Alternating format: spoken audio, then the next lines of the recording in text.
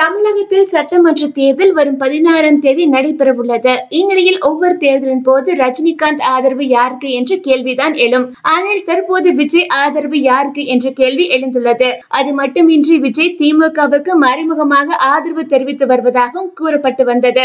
ஆனால் விஜய் யாருக்கும் இந்த தேர்தலில் ஆதரவு அளிக்கவில்லை என்றும் அவர் நடுநிலை வகிப்பதாகவும் வரும் தேர்தலில் விஜய் ரசிகர்கள் தங்கள் விருப்பம் போல் வாக்களிக்கலாம் என்றும் அகில இந்திய இளைய தளபதி விஜய் மக்கள் இயக்க பொறுப்பாளர் ஆனந்த் இன்று அதிகாரப்பூர்வமாக அறிக்கை ஒன்றின் மூலம் அறிவித்துள்ளார். ஆனந்த் வெளியிட்ட அறிக்கையின் முழு விவரம் பின்வருமாறு வருகின்ற இரண்டாயிரத்தி பதினாறாம் ஆண்டு சட்டமன்ற தேர்தலில் இளைய தளபதி விஜய் மக்கள் இயக்கம் நடுநிலை வகிக்க முடிவு செய்துள்ளது.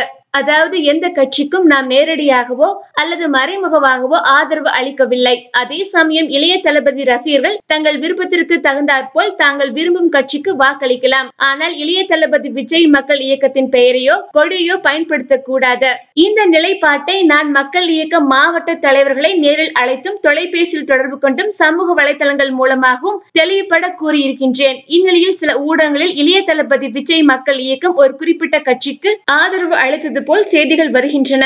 அது முற்றிலும் உண்மைக்கு புறமான செய்தி என்பதை தெளிவுபட தெரிவித்துக் கொள்கின்றேன். எனவே இளைய தளபதி விஜய் அவர்களின் ரசிகர்கள் எந்தவித குழப்பம் அடையாமல் தங்கள் விருப்பம் போல் வருகின்ற சட்டமன்ற தேர்தலில் தங்கள் விருப்பமான கட்சிக்கு வாக்களிக்கலாம் என தெரிவித்துக் கொள்கின்றேன்.